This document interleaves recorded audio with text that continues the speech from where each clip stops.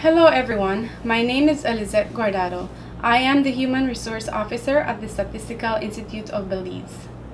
We are currently in the process of recruiting over 900 persons for the 2020 Population and Housing Census. We have been receiving your applications, questions, and comments.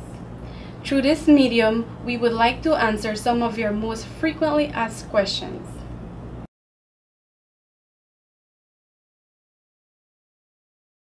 First of all, we want to thank all the persons that have submitted their application. We want to encourage those persons that have not applied to do so immediately as we are approaching our application deadline, which is November 29th. For those persons that have already applied, qualified persons will be contacted in December 2019. At that time, they will be invited to attend an interview in January 2020.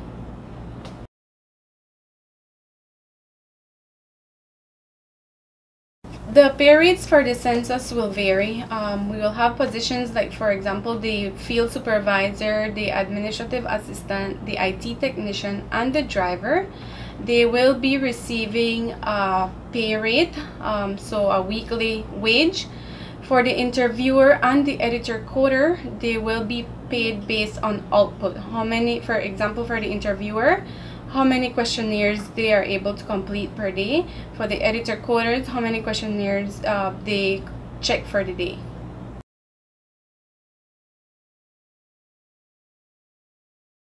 Persons must be willing to work flexible hours. There may be times that household members will be unavailable during the day. Therefore, field staff members will be required to work late evenings and even on weekends.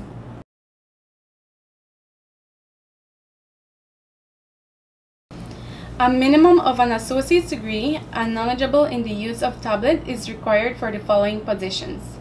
Field supervisor, IT technician, editor coder, administrative assistant. A minimum of a high school diploma is required for the interviewer and the driver.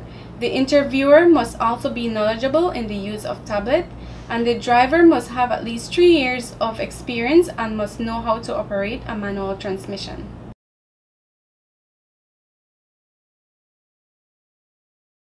You can contact our Human Resource Department at 822-2207, extension 211 or 215, our cell number 634-1349.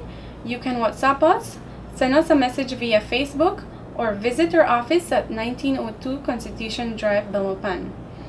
Thank you and have a great day.